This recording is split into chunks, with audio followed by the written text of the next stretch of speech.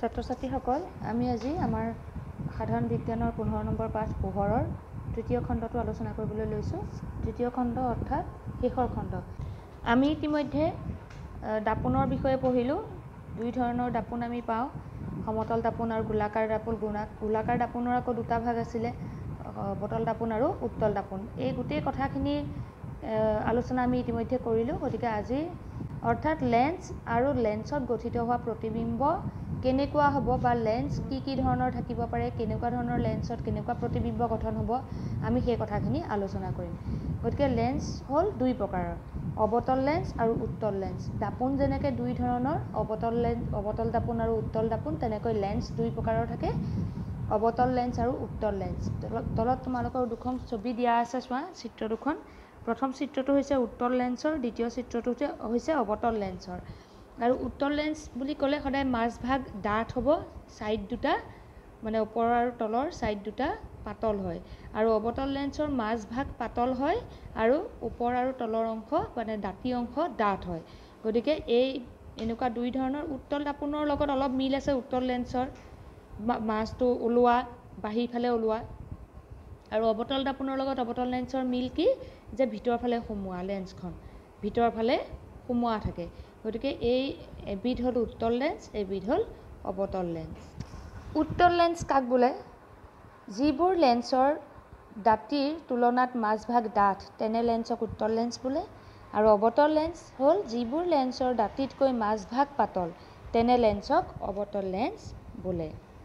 এখন উত্তল লেন্সে সাধাৰণতে তাৰ ওপৰত পৰা পোহৰ একবিন্দুগামী কৰে। বাবে এনে লেন্সক অভিসাৰী লেন্স বুলি কোৱা হয়।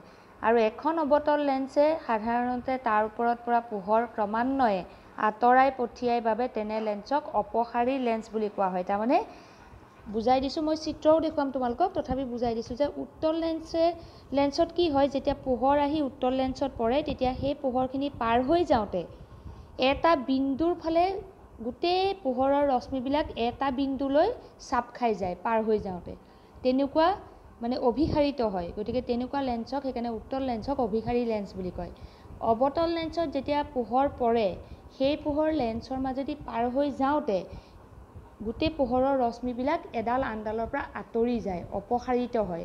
সেইকাৰণে অৱতল লেন্সক অপসাৰী লেন্স বুলি কোৱা হয়। ইয়াৰ চিত্ৰ দুটা আছে মই তোমালোকক চিত্ৰ দেখুৱাম উত্তল লেন্স কিয় অভিসাৰী আৰু অৱতল লেন্স কিয় অপসাৰী।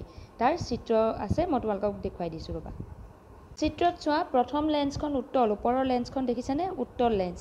আৰু এই উত্তল লেন্সখন এই প্ৰথমখন হ'ল উত্তল লেন্স। উত্তল লেন্সক অভিসাৰী বুলি কিয় কয়? বাওঁফালৰ পৰা চোৱাচোন এইবোৰ পোহৰ আহিছে। বাওঁফালৰ পৰা লেন্সখনৰ ওপৰত পোহৰ আহি পৰিছে।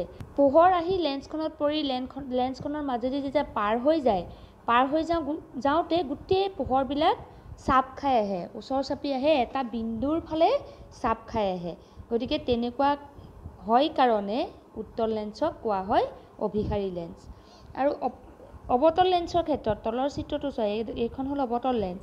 অৱতল লেন্সত এনেকৈ পোহৰ বাওঁফালৰ পৰা আহি পোহৰ লেন্সত পৰিলে লেন্সৰ পৰা পাৰ হৈ ওলাই যাওঁতে পোহৰটো এনেকৈ অপসাৰী হৈ যায় অপসাৰিত হয়।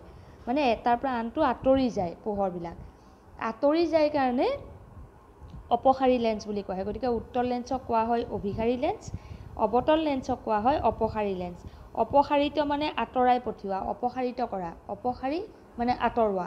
গতিকে অপসাৰীৰ পৰা অপসাৰিতৰ পৰা অপসাৰী হৈছে আৰু অভিসাৰী শব্দটো হৈছে অভিসাৰিতৰ পৰা। ঠিক আছে?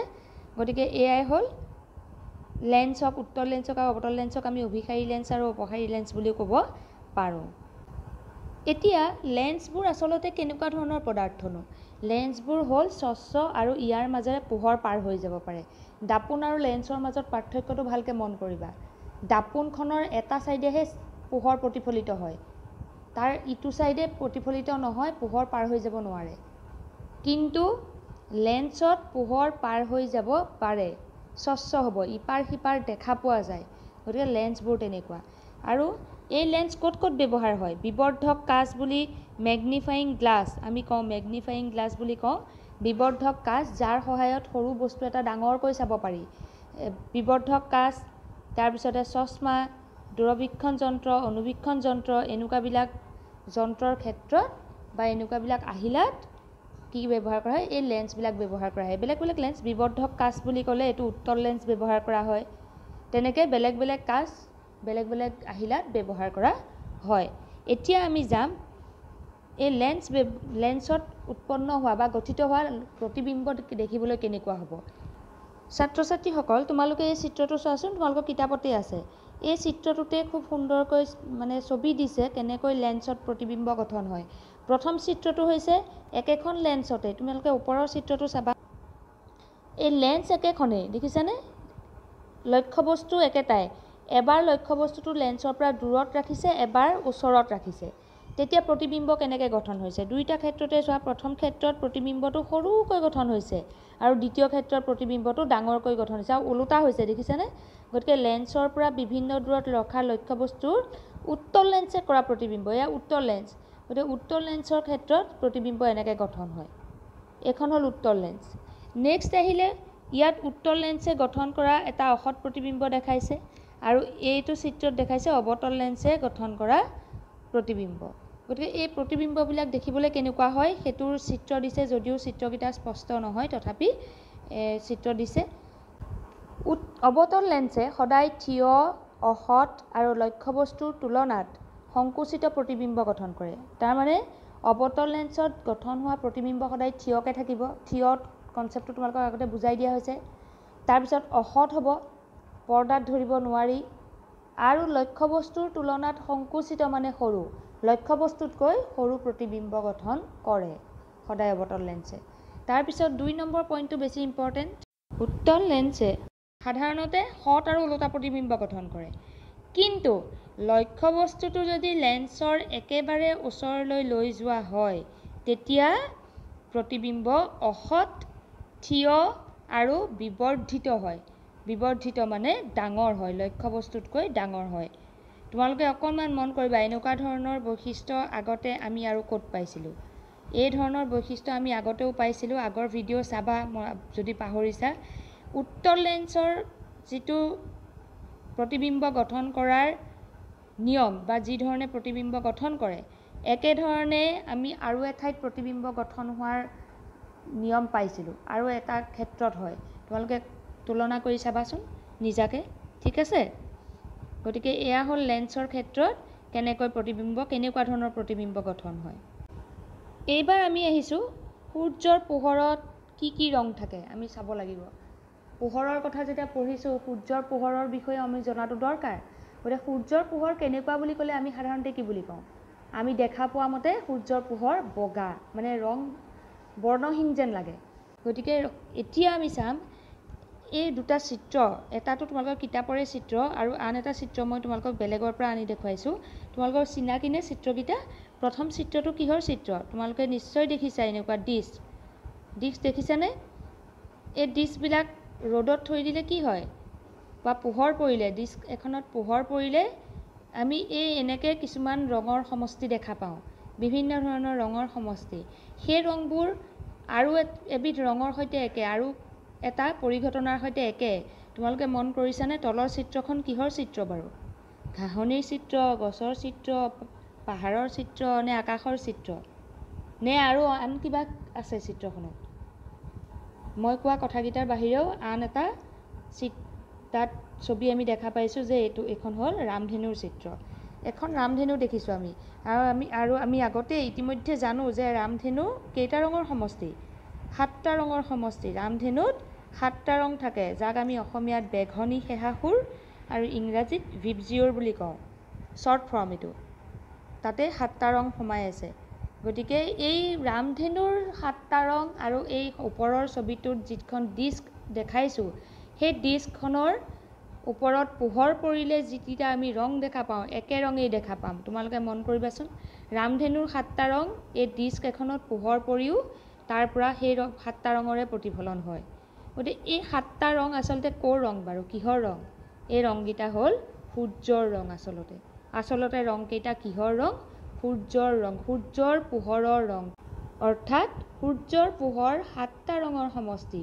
আৰু যিহেতু সূৰ্যৰ পোহৰ বগা দেখোঁ আমি গতিকে বগা পোহৰ হ'ল সাতটা ৰঙৰ সমষ্টি। আৰু এই কথাখিনি সঁচা নে মিছা তাক প্ৰমাণ কৰিবৰ কাৰণে ছাৰ আইজাক নিউটনে এটা উপায় দি থৈ গৈছিলে বিজ্ঞানী ছাৰ আইজাক নিউটন। তেওঁ এটা উপায় দি থৈ গৈছিলে তেওঁ এখন কাঁহী বনাইছিল ডিস্ক এখন বনাইছিল ডিস্ক। ডিস্ক এখন বনাইছিলে তোমালোকে মই ডিস্ক বুলি এইকাৰণে কৈছোঁ ডিছ বুলি কোৱা নাই। এই যে অলপ আগত তোমালোকক যিখন ডিস্ক মই দেখালোঁ সেই ডিস্কখনতে যদি তোমালোকে আৰ্ট পেপাৰত ৰামধেনুৰ যিকেইটা প্ৰকৃত ৰং সেই ৰংকেইটা সাতটা ৰং একাদিক্ৰমে আঁকি লৈ যদি তেনেকৈ এখন নিউটনৰ কাঁহী বনাই লোৱা বনাই লৈ এই ধৰণে লাটুম আকৃতিত যদি তাক ঘূৰোৱা লাটুম যেনেকৈ ঘূৰোৱা হয় তেনেকৈ ঘূৰালে তোমালোকে মন কৰিবা এই সাতটা ৰং কেনেকুৱা হ'ব দেখিবলৈ বগা ৰঙৰ নিচিনা হৈ যায়। গতিকে নিউটনৰ কাঁহী ইয়াত চিত্ৰত কিন্তু ৰংবিলাক অলপ গণ্ডগোলকৈ আছে। তাৰমানে প্ৰিণ্টিঙত ৰংবিলাক অকণমান ৰংবিলাক ডাঠ পাতল হৈ গৈছে। কিন্তু ৰামধেনুৰ যিটো একদম একচুৱেল কালাৰ যদি আমি সেই কালাৰখিনি সমানে বৃত্ত এটাত সাত ভাগ কৰি বৃত্ত এটা আঁকি লৈ প্ৰথমতে ডিস্ক এখন ডাঠ কাগজৰ ওপৰত বগা ডাঠ কাগজ এখনৰ ওপৰত পাৰি আঁকি লৈ সেইখন কাটিব লাগিব কাটি ডিস্কখনত সেইখন লগাব লাগিব। তাৰপিছত সেইখন সাতটা ভাগ কৰি সমানে সাতটা ভাগ কৰি তাত একাদিক্ৰমে সাতটা ৰং সানিব লাগিব। ৰামধেনুৰ যেনেকৈ সাতটা ৰং থাকে বেঙুনীয়াৰ পৰা ৰঙালৈ সাতটা ৰং চিৰিয়েলি সেই ৰংকেইটা সানিব লাগিব লগাব লাগিব। লগোৱাৰ পিছত যদি আমি এনেকৈ লাটুম ঘূৰোৱাৰ নিচিনাকৈ ঘূৰাই দিওঁ তেতিয়াহ'লে আমাৰ আমি কি পাম? এই গোটেই ৰংকেইটা সলনি হৈ বগা ৰঙলৈ সলনি হৈ যাব বগা হৈ যাব। গোটেই ৰংকেইটা নাইকিয়া হৈ যায় ঘূৰাই দিওঁতে। গতিকে সেইটোৰ পৰাই আমি প্ৰমাণ কৰিব পাৰোঁ বা আমি ক'ব পাৰোঁ যে বগা ৰং হ'ল সাতটা ৰঙৰ সমষ্টি। আৰু সেইকাৰণে সূৰ্যৰ পোহৰত আচলতে সাতটা ৰং থাকে। আমি দেখা নাপাওঁ আমি অকল গোটেই ৰংকেইটা সম্পূৰ্ণ সমানে মিহলি হৈ থাকে কাৰণে আমি তাক বগা দেখা পাওঁ। ঠিক আছে? গতিকে এইখিনি কথাৰে আমাৰ পোহৰ পাঠটো ইমানতে সামৰিছে। মূল কথাখিনি তোমালোকে নিশ্চয় অলপমান বুজিব পাৰিছা। ইয়াৰ পিছত আমি অনুশীলনীৰ প্ৰশ্নলৈ আগবাঢ়িম আৰু যিখিনি অলপ সকোজা থাকে মই সেইখিনি কৰিয়েই দিম তোমালোকক। আৰু যিখিনি সহজ প্ৰশ্ন থাকিব সেই প্ৰশ্নখিনি কেনেকৈ উত্তৰ লিখিবা ক'ৰ পৰা লিখিবা সেইখিনি মই তোমালোকক বুজাই দিম। ঠিক আছে? তেতিয়াহ'লে ভিডিঅ'টো ইমানতে সামৰিছোঁ। Thank U